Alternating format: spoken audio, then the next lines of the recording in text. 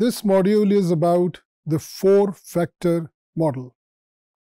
This four-factor model is also called the Carhart's four-factor model.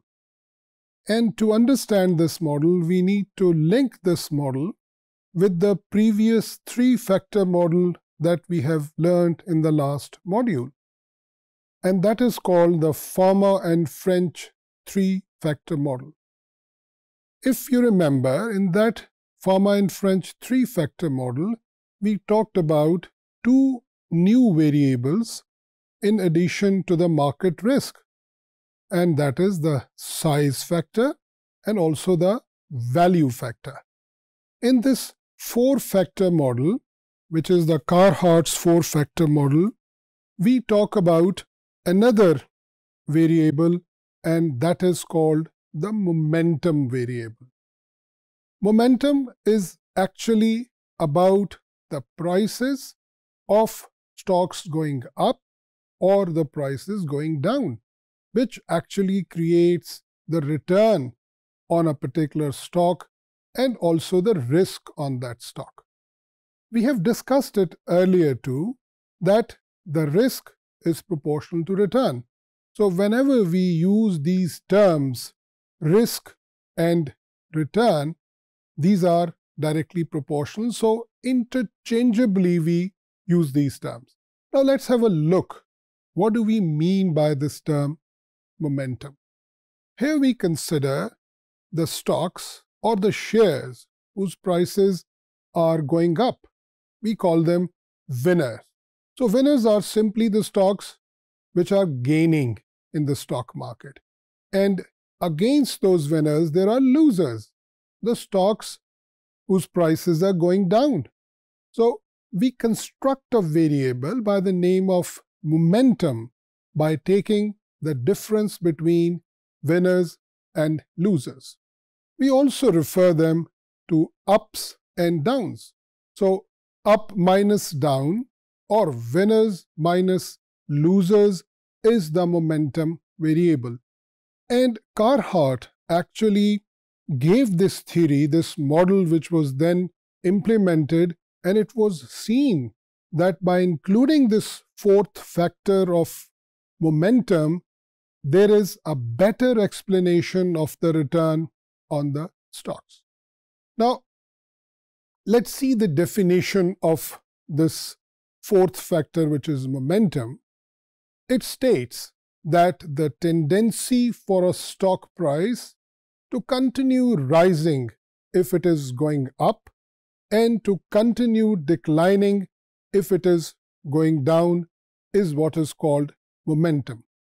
In the stock market, it is considered, it is assumed, which is based on the findings and results of the price movement, then when a stock price starts moving up, it gets a momentum and as a result, it keeps on going up up to a certain level where that momentum is then broken and the stock price starts falling down. And whenever a stock price starts falling down, it doesn't stop immediately. And as a result, what happens that a momentum is again there which because of which the price continues to fall down. Now this momentum of prices going up or down, meaning the stocks getting uh, going up and coming down in terms of their prices, which are termed as winners or losers, create this variable of momentum. Now let's have a look at the equation of Carhart's four-factor model. If you recall, we have talked about the first three factors in detail.